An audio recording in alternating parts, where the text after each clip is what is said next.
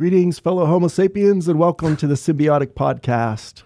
We're here in our third season, streaming live from our studio uh, at College Heights in State College, Pennsylvania.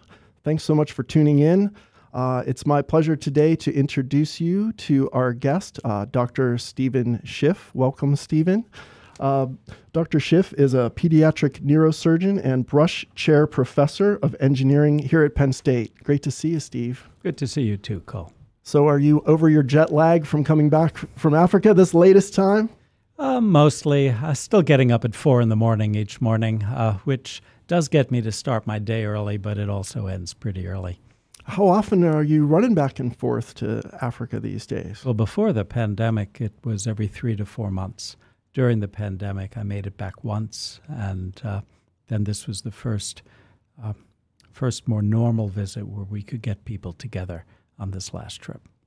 Right on, and and uh, you have a long history in your life with Africa. Is that right? Can you can you speak about that a little bit as we jump in here? Oh, you know, before we do, this is live. This is live stuff. I should let the audience know. I'm so excited to talk to you. Um, for all of you watching out there, if you want to participate, um, please join the chat. You can put your name in there. You can stay anonymous if you wish. You can see the little chat box next to the live stream, and you can put your questions in there. Uh, you can also vote up other people's questions. And at the end of our conversation today, uh, we'll ask the, the top voted questions to Dr. Schiff, uh, and you can hear his answers. Sorry about that, Steve. It's it's live, no net. Here we go. So again, um, let's talk about Africa a little bit. Well, uh, my, I first visited Africa as a as a boy uh, with my family, and I, I was just fascinated. Uh, and it was so different from anything that I'd ever encountered here in the United States. And I had harbored this childhood dream that if I could ever go back and be able to do something useful and helpful to uh, people on that continent, that I wanted to do so. And so uh, later in my career, I found that opportunity. That's terrific. And and how old were you the first time you went to Africa? I was 11. 11 years old. Yeah. Oh, wow. That's an interesting age. And was it for a good long chunk of time? I was in Africa for about six weeks then. And, uh, but those memories as a child just stuck with me forever. Yeah. Cool. I, I, I went to Bumpus Mills, Tennessee as a six and seven year old. And those, those, that formed me as well, but maybe in different ways. But we don't we won't go there. We're here to talk about you. I have family in Tennessee. I understand. Uh huh. Bumpus Mills, Tennessee, in Yeah. particular. Yeah. Yeah. So anyway, um, it's it's been so great getting to know you a little bit in this last month uh, as you've worked with with the the team here at the Huck Institutes, and we got to learn more about your work and and make the video that we're going to be showing debuting in in a few minutes here for our audience. Um, it's just fantastic stuff, and and to to lead into that. I just want to remind all our viewers, you know, this third season we're doing of the podcast is about risk takers and game changers. And the reason we wanted you on the podcast is we feel you fit that mold of, of a scientist who's taking risks and really changing the game. And so I've been asking all, all of our guests, you know, were you always a risk taker? Do you consider yourself a big risk taker? Were you as a kid? Uh, I don't think so, except in one domain. Uh, when I was a kid, I was pretty good at ski racing. And you got pretty good at ski racing because you tended to take more risk, along with some skill, uh, than other people might have been willing to take. I say that now, it sounds like I was insane as a kid, but you know, you kind of don't think that you can be hurt out there. And um, I was actually a, a finalist in New York as a high school uh, kid, but too much of a nerd to make it much further than that. And uh, eventually uh, stopped it because it seemed too risky. Too many other people were getting hurt. Yeah, yeah, you, you you can definitely hurt yourself. Yeah, my, my son went skiing for the first time recently and came back in one piece, no no broken bones. We were very happy about that. And ski racing is by yourself though, right? You never you never see people skiing like next to each other. Oh, they do some of that these days, but in the classical forms of alpine racing, it's just you by yourself. Yeah, just try to get down there as fast as you can. Just just a wild man. So you're a wild man on the slopes. Uh, well, not anymore. uh, although, you know, training as a physician, uh, especially uh, with things such as infectious disease, you learn how to control the risks of exposure and, um, you know, keep yourself calm and faced with uh, people with uh, contagious and dangerous diseases. And it becomes something that you absorb professionally. Uh, and so that has helped, but I'm I'm a much more cautious person now than I was uh, as a teenager. Got it. Got it. Well, that's interesting, and and um, I, I, would say you, you know one thing we're fascinated in learning more about is what causes people in in the scientific realm to take a risk, and and I know that you are the recipient of two major NIH grants that are considered high risk, high reward grants. And here, you know, at the Huck Institutes, we've got a little seed fund that's called HITS, the, the Huck um, Innovative and Transformational Seed Fund. And it's supposed to be stuff that's too risky for the NIH to even look at, right? But, but the NIH does have a program for things that they consider risky. And you're one of the few people that's, that's hit it two times, not just once, which is pretty phenomenal. Like very, very rare that somebody would, would be given that kind of money two times. So, what's your magic sauce? Like, what what do, what do you think uh, is going on there? The first time back in Africa as an adult, um, I visited uh, an old and very dear friend of mine who had moved to Africa and built a hospital. And I was amazed at the struggles and the types of disease that he, he was treating. And perhaps searching for good problems. I mean, if you're uh, at a university and you're faculty and you're doing research, you can work on things that are of no interest to anyone, including yourself, or you could find things that are just the best use of your precious time on earth.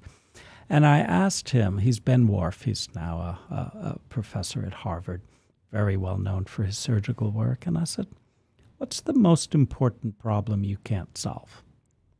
And he thought about it for a moment and he said, maybe I could help figure out what makes thousands and thousands of these infants sick.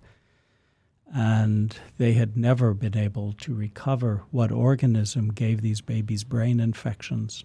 Uh, and then in the survivors, they often needed brain surgery for the fluid that built up. And I thought, okay, how hard can that be? Right. 15 years later, you and I are now talking, and we're beginning to crack this problem open in a useful way. But faced with something that could be solved, but no one had, and from someone like myself who did not have a background you would have expected uh, to have been an expert on baby infected uh, infected with organisms uh, that got into their brain. Um, it was a struggle. So this isn't like an airplane pilot where if that plane crashes, everyone and the pilot dies. Um, this is risky in the sense that we needed a lot of resources mm. to crack this problem. Uh, we had uh, burned through uh, a number of different seed grants, which got us started. It got us looking at some of these samples, but we needed a major investment. And there was no expectation that this would succeed. But the NIH, and very thankfully the NIH director, uh, decided that this was worth the risk, that mm-hmm. we would fail, because if we could succeed, uh, it was a huge impact and potentially one that had global impact around the planet. So you feel it was that potential impact that was the moved the needle for you, so to speak. Oh, definitely. Yeah. Um, and the same story for the, the second one of these um, uh, grants that we received.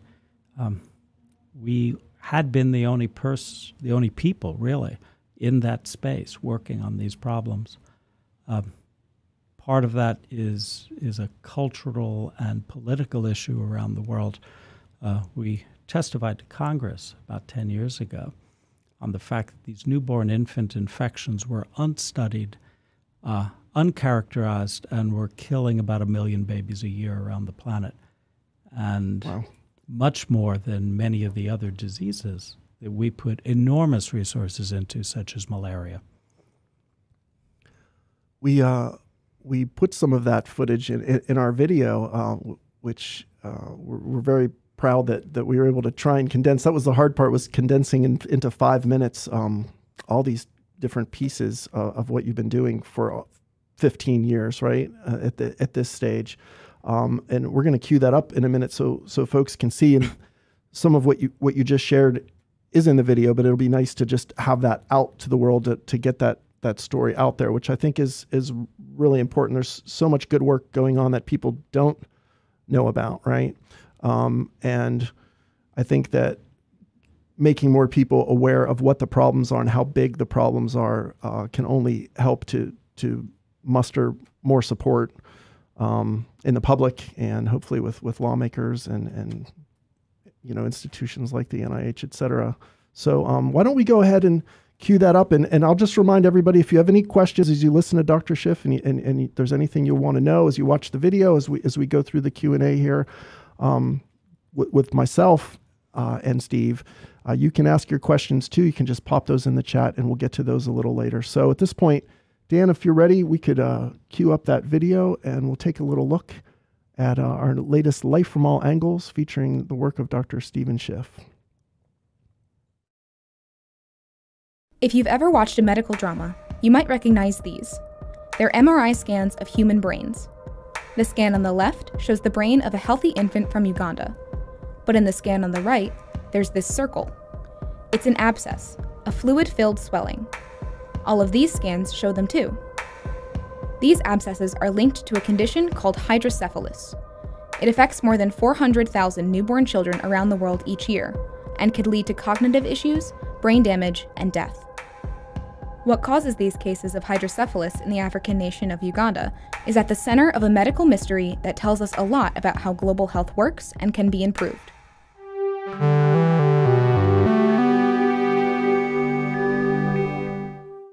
Hydrocephalus is a condition where you don't clear the fluid that is made in your brain every day and helps nourish it and suspend it uh, adequately. And in a young baby, uh, the fluid builds up in the head because the bones of the skull are not yet fused. The head gets large. Steven Schiff is a pediatric neurosurgeon and Brush Professor of Engineering at Penn State. He's leading a global effort to better understand and treat childhood diseases in general, and hydrocephalus in particular. So we think that upwards of a million infants a year die in the first month of life uh, around the planet from infection. In 2007, Schiff spent a week in Uganda to help address technical problems with diagnosing epilepsy. He examined the equipment and made some professional connections, but what really caught his attention was the number of babies he encountered with enlarged heads.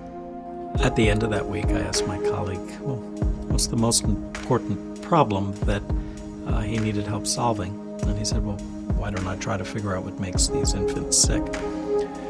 I thought, how hard could that be? And here, 15 years later, we're finally getting answers to that. The doctors in this hospital had treated over a thousand cases like this without ever knowing the cause of the condition. To gain some clues, Schiff turned to genomics. There's a piece of a gene that all bacteria have that we have large databases for. So if we sequence pieces of that, we often can determine pretty close what the species is. Working with an international team of colleagues for over a decade, Schiff discovered that almost all the hydrocephalus in Uganda was caused by one organism, a specific variant of the bacterium Paenibacillus thiaminolyticus. It was never known to cause serious illness. If we offer it to mice, the strain that we knew well doesn't hurt them. The strain from the African infants kills them usually in a day or so. It took more than $4 million and over a decade to identify and characterize a single pathogen in Uganda. Until similar work is performed in every low and middle income country, Schiff points to the promise of highly integrative prediction techniques to help reduce the burden of infection on infants globally. And although in the future, I think we're going to be able to have new technologies that enable us to do a much better job of determining what makes an individual sick from a given bacteria or a virus. Today, a workaround is what we call predictive personalized public health. The key, says Schiff, is to cross reference relevant data streams, including location of infections, prevalence of specific bacteria in specific places, and environmental factors like rainfall, temperature, and humidity. By combining satellite data with on the ground surveillance over time, this novel approach could empower doctors to far more accurately diagnose patients at the point of care. As he testified to the House Foreign Affairs Committee in 2011, Schiff sees this work as a moral imperative. As a physician and scientist, and as a father, I'm struck by how much we don't know about newborn infections in developing countries. I am concerned that one reason is that the newborn infants who die there have no political voice. Schiff is quick to point out that none of the work he's doing would be possible without scores of people willing to cooperate in pursuit of a higher purpose, something bigger than anyone's individual career. We put 50 people on some of these scientific papers. You can get buried in the large numbers of names that are credited with authoring these discoveries. But people really surprise you, and faced with a project worth doing, I've been just so proud that the teams we've put together uh, are just as dedicated today as they were when we first asked, Would you be interested in? You know, it's funny. You tell people, we got a lot of, we have thousands and thousands of infants dying in these, in some of these sites. Uh, would you want to help us? And I usually don't get to finish the sentence before most folks who I would approach will go, I'm in. What do you need? And that's that's part of the reason I think we're doing a good job. To keep up with the latest developments in Dr. Steven Schiff's work, along with other scientists at Penn State's Huck Institutes of the Life Sciences, visit huck.psu.edu/subscribe.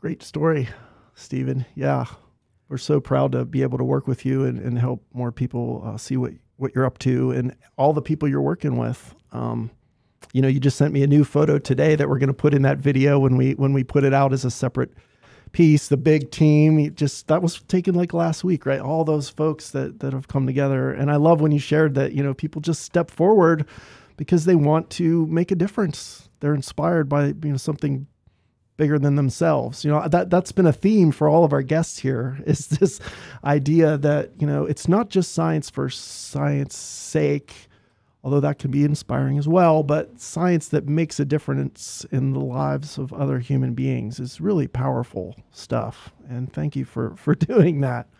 I, I used to think that uh, it was a personal decision of on my part to focus on children's medicine because uh, originally I, I, had trained as an adult surgeon, and uh, but dealing with infant disease is just universal around the world. It doesn't matter uh, what the politics are in a government or between uh, different political factions.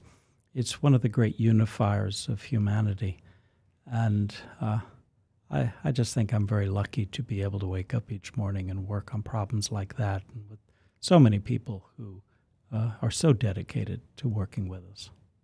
Yeah, that's that's a good attitude to have. Yeah, I think that that meaningful work inspires us to keep going.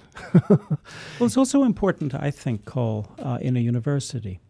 Mm. So we train a lot of uh, students at the graduate level, either to work in industry or government, or uh, the majority uh, to go into academics.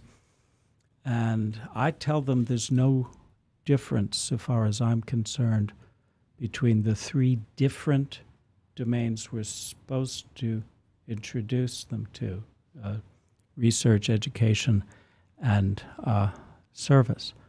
And if we pick the right domains to work on, it all blends into one. And I, I tell my grad students, you know, if don't waste your precious life on anything you don't really believe you should be working on.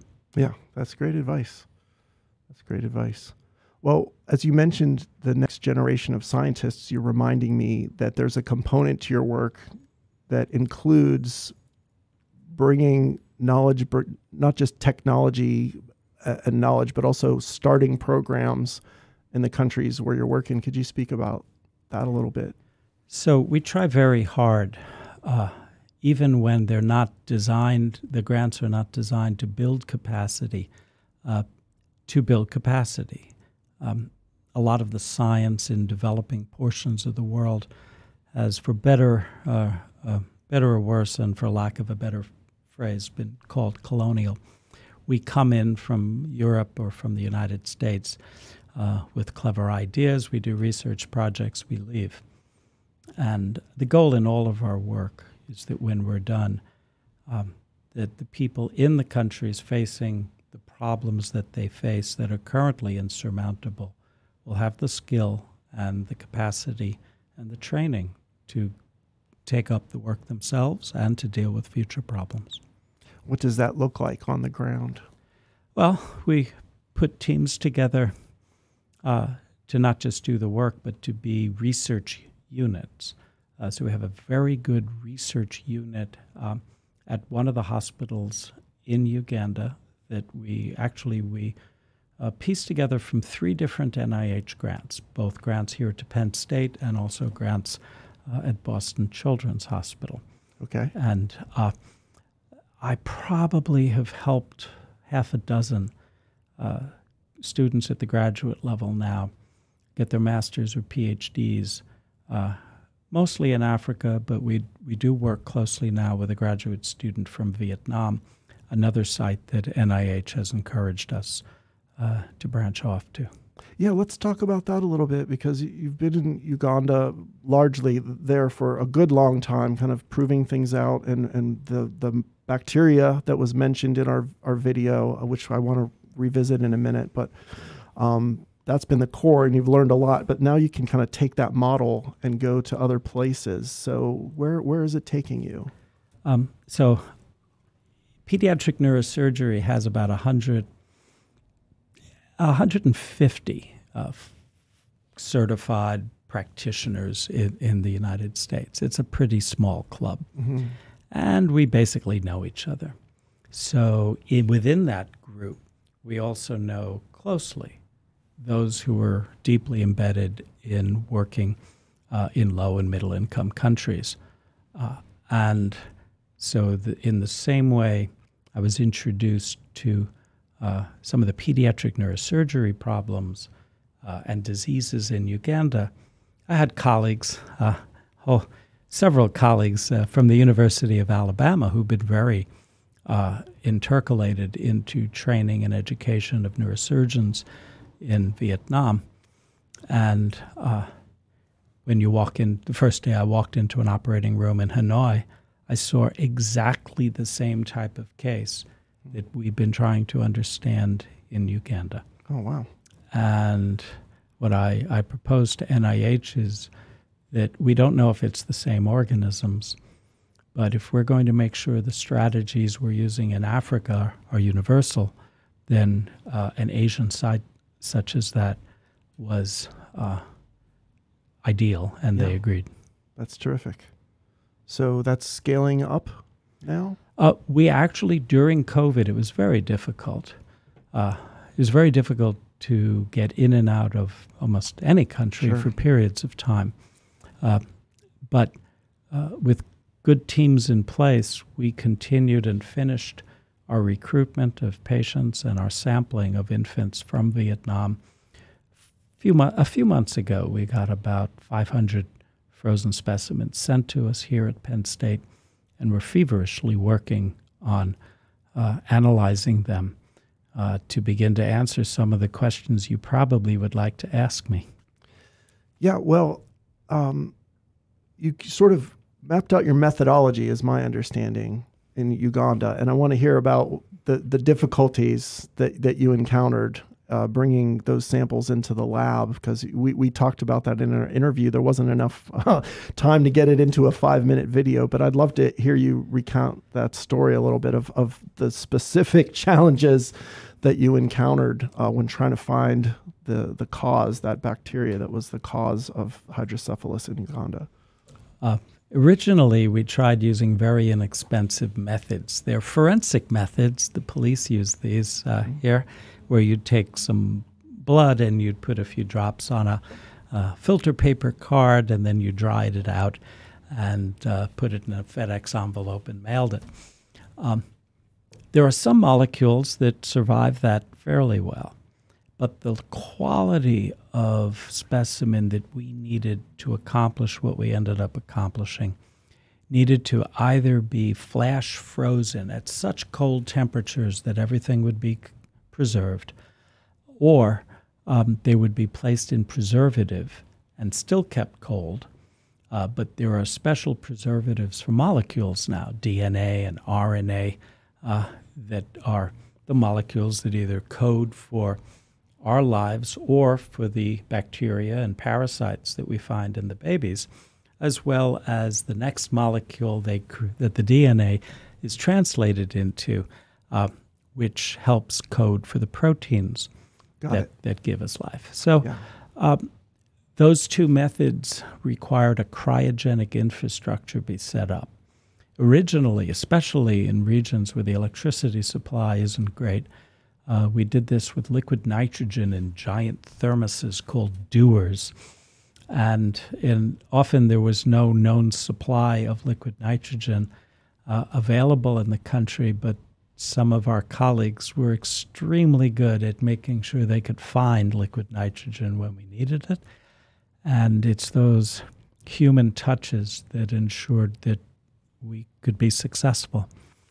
And as you mentioned, uh, uh, or in the video, uh, this whole procedure, setting up an infrastructure, currying thousands of tubes uh, overseas with um, the the shippers that we use are liquid nitrogen based. They can go in cargo on airplanes, mm-hmm. uh, but they only last about six days before they thaw. And I think all of them ended up coming in about five days and 12 hours oh. into the trip. Um, so uh, it was pretty nerve wracking. Yeah, high stress situation. But we got everything yeah. here. And uh-huh. then we've spent literally years uh, carefully preparing, sequencing, analyzing. The analysis is very difficult.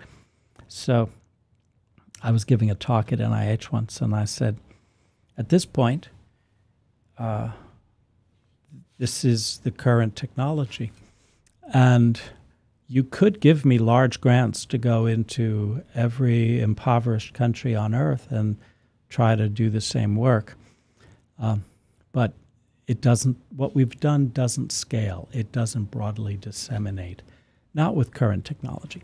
So the other approach which we're very vigorously working on is taking this kind of surveillance mm-hmm. and producing models to forecast if you know where a baby comes from and when the infant got a bad uh, illness in the first few weeks of life we appear to be able to do a reasonable job of predicting what the likely organisms are, and therefore what the doctors at the hospitals and clinics should choose that week for their first line uh, antibiotic treatments. Right, right there at the point of care to exactly. make sure it's the correct medication. Exactly. Today, all over the world, Infants who come in with a very severe life threatening infection in the first few weeks of life are all recommended the standard treatment of two old, inexpensive antibiotics.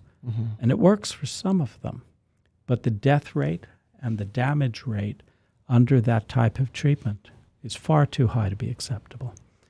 And uh, we can do a much better job and that is what we called in the video. It's it's predictive personalized public health. Is it's it's all that data just layered on top of each other to comes down to like where's this baby from, and then you start to collect, you know, what are the, the, the different causes of the infections in the different parts of the world based on rainfall and all these environmental factors, correct? The basis to all of that, Cole, is surveying, just like we surveyed patients with the different COVID 19 variants. Right.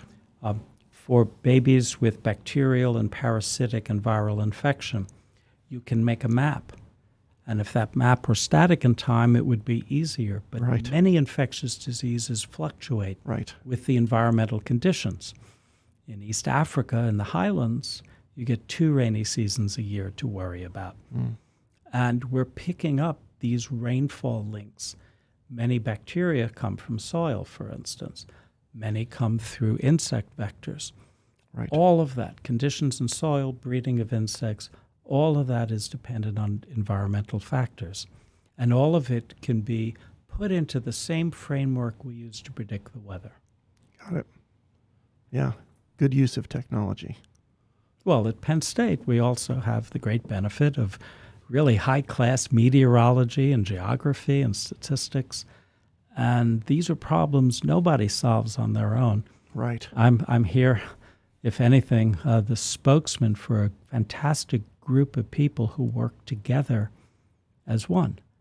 Uh, these are problems which demand uh, that people from many different disciplines are brought together. So I would like to uh, to think, and, and I think it's true, that our meteorology that we're doing to understand African weather patterns uh, is just as good as the infectious disease genomics that we use to identify what the organisms are. Absolutely. Uh, you know, you're, you're, you're preaching to the choir here because at Huck, that's that's our core belief. That's really what I think the, the Huck exists to do uh, in the life sciences framework is to bring the disciplines together and, and make a, a bigger map. Or uh, Troy Ott, who who helps run our um, graduate programs, where where our graduate students go to all these different disciplines too. Uh, we had this mapping conversation recently. He said, "No, at the Huck, it's more like we're making the maps." He's like, "We're out there following the rivers and like chopping down some, like you know what I mean." I, and I, I, would consider you one of those path makers, right? So you, are going to go in a new place, and, and new maps will be built to to follow what you're doing. And to your point, it's not going to be one person doing it. It's going to be a whole lot of different folks um, making a map that that just didn't exist before. The data has never been brought together. The the teams have not been brought together. That's what's so exciting uh, for us working at the Huck is, is seeing folks like you and tell, telling these stories. Um, I, I know it's about 12:30 right now, and uh, we, have got about 15 more minutes together. I think I'm gonna join into uh, the chat here and see if we've got any questions uh, that people have put in. Oh, here we go. We definitely have some questions. Um, oh, ask. So, right now, reduce the number. Now that you have. Oh, great question. Great question. I had this one in my mind too. So, Kenny asks Now that you know what bacteria is causing these infections, what interventions or precautions, if any, can be taken to reduce the number of them? Oh, great question. Uh, that was several hours of morning discussion with colleagues both here in the US, UK, and Africa. Um, there are, uh, broadly speaking, you divide this into two domains. Um, when an infant hits the clinic door and is sick, um, how can you better treat them? For an organism that we have no experience treating in the past, there's one known case recently published of this organism, and that was a post mortem examination of an infant who had died. And so, the, what what we literally spent last weekend doing in Mbale, Uganda, gathering all of our physicians and investigators together, is what evidence do we have that we can bring to the table to uh, make a guess at best practices, that is, which antibiotics and for how long. And since we've never looked at this before, randomizing that first guess against our second guess, as long as the we have no reason to think one is more uh, effective than the other, is begin to see which two paths might give better outcomes, then pick the best path and then try variations of that. Again, seeking to both cure these infections before they uh, uh, cause major damage or kill the infant. And of course, we'd also like to prevent this very high load of infants that survive but then need brain surgery in order to clear the fluid that builds up. What you'd really like to do, though, is prevent the infection. Right. So part of this conversation is how broadly do we have to sample uh, soil, water supply, animal products? Uh, is it in the mothers? We've done a maternal trial, sampling mothers at the time of birth, failed to find any evidence that this one bacteria is maternally transmitted. Uh, but that doesn't mean uh, it's not going on either in certain cases. Uh, because in many other illnesses that in, where infants get infection around the time of birth, most of these babies get sick in the first week.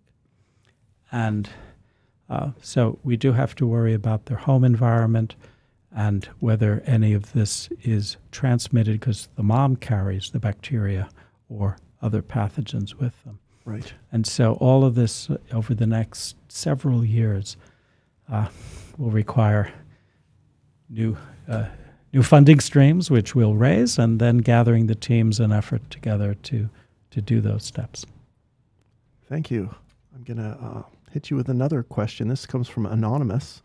Uh, it, if you solved all the infant infection problems, what other kind of research would you be interested in doing? Boy, that all the inf- all the infections. Well, I've worked on controlling uh, uh, seizures and spreading depression, which is the mm. uh, uh one of the triggers for migraines, uh, and cerebral palsy spasticity in children for many years. And if I did solve all of the infections, what I really do know something about uh, won't be solved. And uh, I would put a lot of time into that. Got it. Thank you. Um, here's an interesting one, also anonymous. It says, What subject area has been the hardest to pick up after shifting from surgery to this research? I, I I think the hardest part is all of the changes in our understanding of the genome. Mm. Um. I wake up, I think, every morning wishing I knew more, but so do my colleagues who do that for a living. It's such a fast breaking avalanche of knowledge mm. about how we are encoded and what we do with those codes. Do you think that AI has a role to play there in, in managing that, that avalanche of data? Do you, do you think it's the universal question, right? Cole? Yeah, I mean, we all, all of us who are a little older, we all got taught to model things, you know, like Newton modeled throwing a ball. Uh, you know, you come up with first principles and you study it for years and you understand gravity and you write down simple equations. AI has proven again and again that it can do things with understanding physics and biology and public health in ways that even if we don't understand completely what the computer's doing, look, I want results. Right. And uh, we, uh, we, we heavily use artificial intelligence and machine learning in almost every domain that I work on now. Yeah, that, that's a critical one in terms of the disciplines coming together. Just uh, coding, and I mean, God, the digital, the digital world we're living in. That going back to our, our digits in our hands, right? That's always every once in a while that hits me. The dit because we're using our little fingers and being digital like that. I'll that date myself. when I was in college, they had the first teletype to ah. a computer at Dartmouth, where you could enter lines of simple code and it would spit back answers. It was a programming language called BASIC. Oh. And I used to crawl up to the one room in the department that had one of these, and it was just amazing that you could do such a thing. Now, our students not only come with complicated machine learning network architectures that I honestly have no idea other than magic how they pull that one off. And the next morning they come in with a web app Yeah. and go, "Oh yeah, I took that thing and uh, if you want to post it on the website, anyone in the world can now upload their data and it'll spit out the answers." And I go, "Oh sure, why yeah. not?" Yeah, why not? Go ahead and Uh, pop that out there. yeah, well, those moments can give you hope, you know, because we, we hear a lot sort of in, in the mainstream and in the media about like the evil stuff that can happen with social media and, and, and misinformation and people getting depressed and upset and jealous of one another and body image. Pro- there's a lot. There's a there's a lot in the media about the the dangers uh, of tech, uh, but there's also amazing stuff going on on the flip side. Um, and I do feel that the the global community of, of scientists wh- when they do get together on something it's incredible the potential of, of what, what what we might be capable These of These are tools, Cole. You can use tools for good things and bad things. yeah absolutely. Well um let's see. Oh i've got one other question and then um we're, we're gonna have to start to wrap up. I have a fun a fun way that we wrap this thing up but i'm gonna ask one more question. This is from sam. It says now that you've identified the bacteria where do you think it is coming from in the environment? This will be our last audience question Sam, I'll give you my best guess, but a warning every guess that I've made about what I expected to find working in Africa has have all been wrong. But my guess is that this is a soil organism. It lives next to on the tree of life similar organisms or soil organisms. It's it it infects the babies when the rains come in, not during the dry seasons. Um, that's my guess today. and so you'll be you'll be proving that out or disproving that out in the next phase of the work Ask there? me in a year. In a year. Okay, we'll come back in a year. Okay, speaking of coming back later, um, this is how we like to go out uh, this season. Uh, you may have noticed we have some friends here. We're not alone, and maybe we can cut wide and Dan can show who we have with us today. Uh, we mention this on every episode. This is just just so that we don't get too serious about you know all all, all the perils of, of life on Earth. Um, I consider this. I've been meditating on it lately. I feel like it's it's it's one way that we can contribute to the diversity uh, of of, of Penn State in, in, in a different kind of way than people are used to thinking of, and that is the diversity of plushies that you can get in the world today that are Penn State. Each one of these plushies has has a Penn State um, logo on it, and um, Dan's gonna cue up in a second uh, a, a little video that we made about the plushies. And I, I see this as the evolution of Penn State. You, you no longer are, are limited just to the, the Nittany Lion plushie. Uh, if you were to go, and these are all available at stores right here uh, in State College, PA, uh, you, you can get a llama plushie, um, you can get a gnome plushie, Penn State plushie.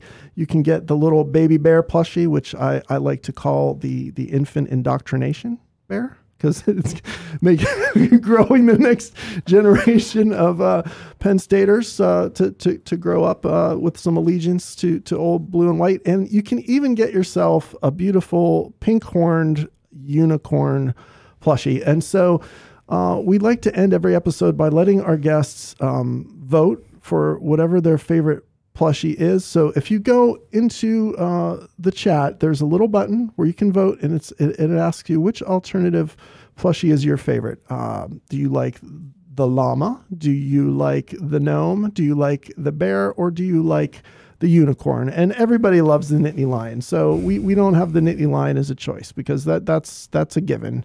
We all love the Nittany Lion, but um, you know, we're, we're this is our own research project. Steve is that we're we're going to collect the data on every episode of the podcast, and um, we're going to see how the audiences stack up. For instance, Nita Bharti was on last week. I think that the llama was was the was the number one plushie choice of that audience. Uh, for David Hughes, I believe it was the gnome, if I'm not mistaken and we're going to see what your audience thinks. And I'm going to ask you directly: uh, Do you have a favorite alternative plushie? If you wanted to take one of these home to your office or off to Africa on your next trip, uh, which which plushie would you go for? I'd have to pick the gnome for two reasons. Okay, It's kind of a homely looking creature, and um, he always wears a hat in the sun. He's wears. I've seen the pictures of you in the hat. You've got the African travel hat. I, I swear I burn in about five minutes in the equatorial sunshine. So Oh yeah, boy. That's I a- keep extra hats in case I lose one. You got a backup hat. That's good. So so you're a gnome man. Duly noted. I believe uh, David Hughes was a unicorn g- man, and uh, Nita, I think, went with the llama. She showed, she, although she liked the, the unicorn as well. And so, um, you know, as we go out, we'll, we'll be sharing those with you folks out there watching. Uh, we'll see how this all turned out. And at the end of the season, we'll be back in touch with you uh, with a report that you can share uh, with with colleagues and, and, and let them know how you stack up plushy wise. I'm sure that's going to be really important to you in your future career. Well, thanks very much, Cole. I look forward to that. Well, I, I in all seriousness, thank you so much, Steve. It's it's been a real pleasure talking to you, getting to learn a little bit more about your work. It's it's absolutely fabulous. You're one of those people that makes me uh, proud of Penn State, proud to be here. And uh, let's let's keep in touch. We'll be following along. And and if, if you saw the video, if, if you want to follow along uh, with with Steven Schiff's research, uh, you know, at the Huck, we we we do like to share news uh, as things go on. So you can um, subscribe uh, if you go to huck.psu.edu/subscribe. Uh, you can get our Pulse e newsletter about not just Dr. Schiff, but all the all the amazing scientists at the Huck, Univer- uh, excuse me, the Huck Institutes here at Penn State University. I'm running out of time, but I want everybody to know if you come back uh, in a month on Thursday, April 28th, we'll have uh, Dr. Laura Ry- Weyrich on the podcast talking about ancient microbiomes and ancient DNA uh, and some fascinating stuff. So, again, thanks a lot, Steve. Take good care. Everybody out there, thank you for watching the Symbiotic Podcast and don't stop co evolving. Thanks.